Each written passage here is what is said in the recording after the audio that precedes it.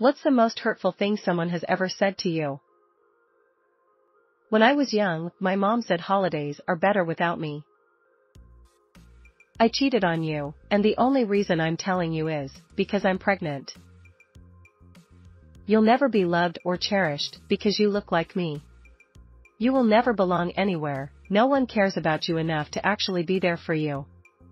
You will be a burden to everyone else.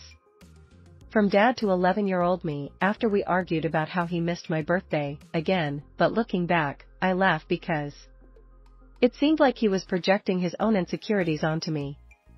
LOL face with tears of joy.